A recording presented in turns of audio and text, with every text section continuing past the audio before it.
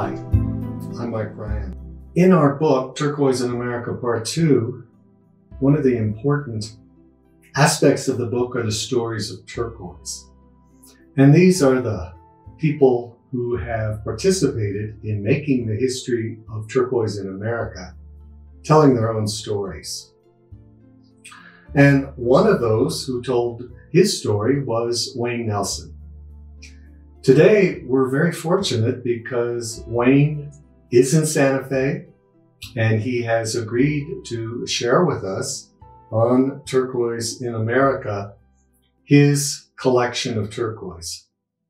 Now, to remind everyone, Wayne Nelson was cutting turquoise for Francis Farr at Lone Mountain 1974 and 1975. In 1976, and for the next several years, Wayne was instrumental in selling most of the 600 pounds of turquoise that was extracted from the Hidden Valley turquoise mine. In 1985, Wayne obtained the only turquoise concession from the Candelaria silver mine, and he was able to work the dumps there take out a lot of Candelaria turquoise. He sold a lot, but he kept the best for his own collection. So today, we're going to take a look at the Wayne Nelson turquoise collection. All right. So we're here with Wayne Nelson with the Wayne Nelson turquoise collection. So uh, Wayne, welcome thanks for sharing this uh, this incredible collection of turquoise. Maybe uh, we talked earlier about how you put the collection together. Maybe you could just share a few insights into how this this collection got together over the years. Well, I started out in '74 at Lone Mountain Mine as a cutter, and from there. Uh, when I left there, I started buying turquoise from miners and cutting and selling cut stone. And that's how I really started. So then you you were cutting at at Lone Mountain, Lone Mountain. So we're going to see some of the, the Lone Mountain cabs, but you certainly have a lot more of the uh, Hidden Valley and a lot more of the Candelaria. So I think it was in 76 when that uh, Hidden Valley came to the market. In 76, I had Hidden Valley. And then you bought all of that was 600 pounds. I think it was the. Yeah, I bought it all. Yeah. We're going to see some really high grade Hidden Valley here that most people probably haven't seen in the marketplace. And I think a lot of that came from one piece of rock that I think you have there. It came from from a piece of rock that I had for 44 years and never cut. And when I cut it, this stone here is the rock off it. And on the other piece, all these high grade pieces came off that piece. And I think we just calculated that that total nugget or that total piece of rock was about 16 pounds. Roughly 14 to 16 14 pounds. to 16 pounds. Yeah. Yeah. Well, that's really really quite spectacular. And so these stones, Yeah. really high grade pieces off that.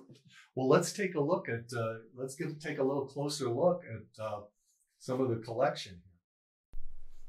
So we're going to start with uh, Hidden Valley here. I actually will start right here. We've got um, just the fewest cabs that you have of all these are here from Lone Mountain. And I guess that where you were just basically involved in cutting at that point, yeah. so you just didn't have as much access to these. But these are really exceptional uh, grade of uh, Lone Mountain, very very high grade Lone Mountain turquoise. What was it like uh, cutting out there in '74 and '75? Well, I had a big cutting, 40, 40 foot reefer trailer that was set up for a cutting shop out at the mine. And that's where I cut the stone for them. And I was cutting like 5,000 carats a week of that small stone. And then after I left there, I had people come by and want to know if I wanted to buy Lone Mountain. So I bought a little bit. And I I bought what I could and then I'd cut the stone. Great, great. Well, here now we're looking over here at this uh, this exceptional grade of Hidden Valley, and you're saying that this these stones came off of that big nugget. And that was uh, probably the highest grade I ever had on all the Hidden Valley. Yeah.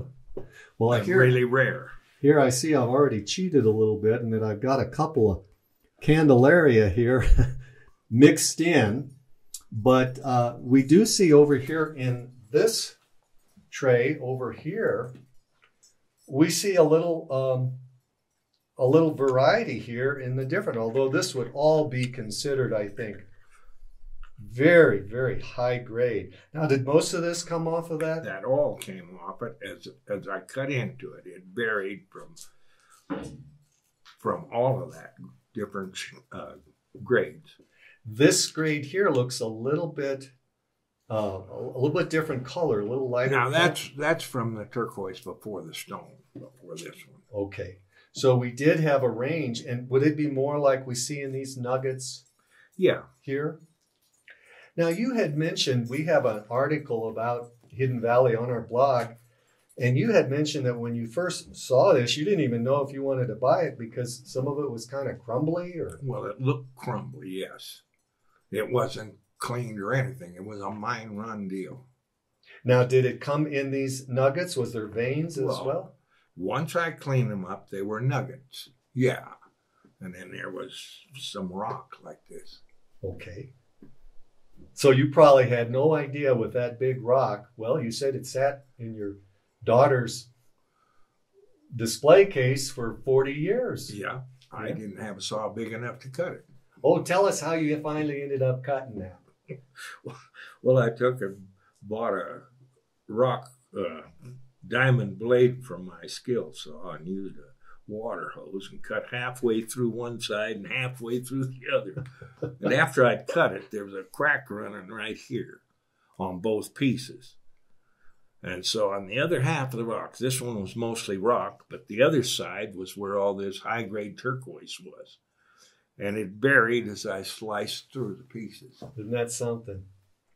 So here we see some more different kind of grades of uh, Hidden Valley. and most of that is from the the rock before that big rock. before the big rock because you you were selling this how long would you say after you got it in 76 how many years before you had sold all that cut and sold that 600 pounds although you sold rough right? I sold rough too. I sold rough to people, and I sold cut stones. can you share with some of the folks you sold the that were your customers then for the hidden valley? Uh, Don Mortensen, I sold him quite a bit of rough. don mortensen was in albuquerque i think. Is that right? Gallup, in gallup okay that's right that's right I cut stones to a lot. a of lot of people people. you I told that sold you some of the first stone to Charles Loloma. Sold to Alvin Yellow Horse. Well, those are all big names in the in the jewelry business. That's for sure. White Buffalo. Mhm.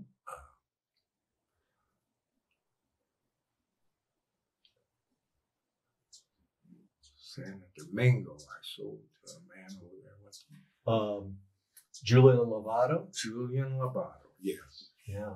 And uh, Well, Julian Lovato was known uh, for using uh, Lone Mountain, mhm. very high grade Lone Mountain.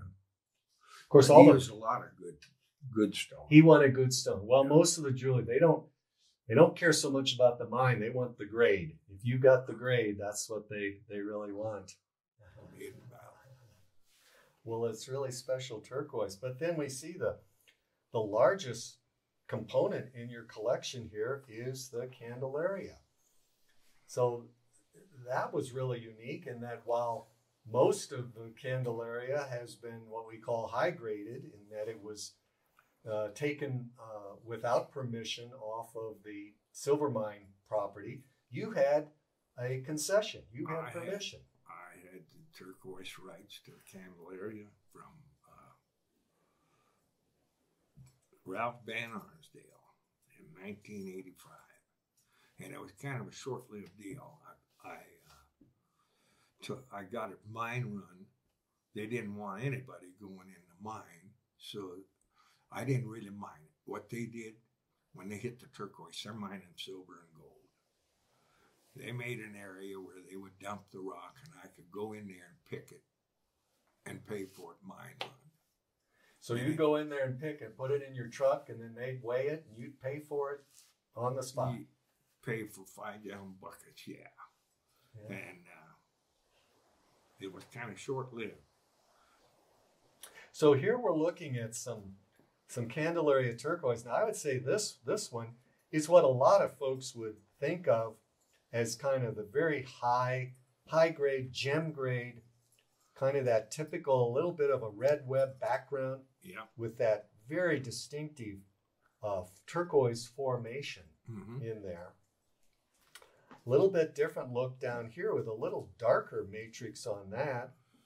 Um, then you have these these cabs like that that have almost what some people would call like a water web, a little a little more different look. These two cabs here have a different look. All high grade, but different, unique and different. Indeed.